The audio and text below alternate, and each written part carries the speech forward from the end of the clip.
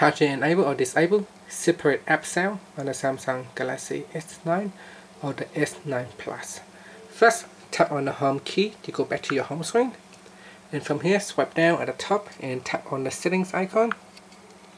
Next, tap on sounds and vibration. And from here, go down all the way down to the bottom and tap on separate app sound. At the top there is a switch, you can uh, turn this feature on or off. Now down here there are two sections, one is the app and the other is the audio device.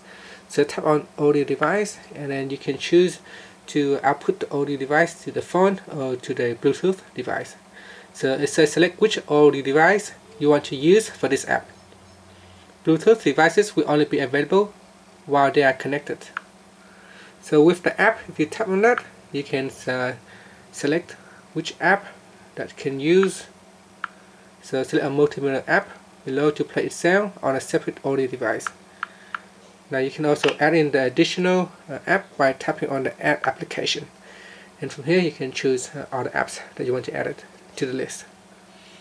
And that's it. Finally you can tap on the home key to go back to your home screen. Thank you for watching this video. Please subscribe to my channel for more videos.